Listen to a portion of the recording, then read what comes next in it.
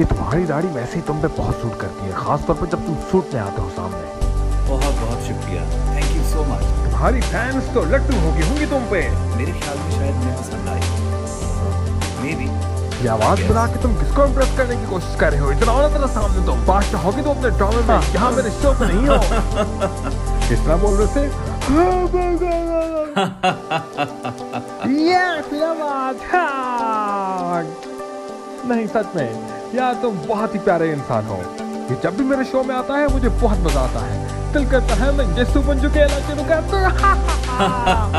नहीं नहीं seriously come on give me a hug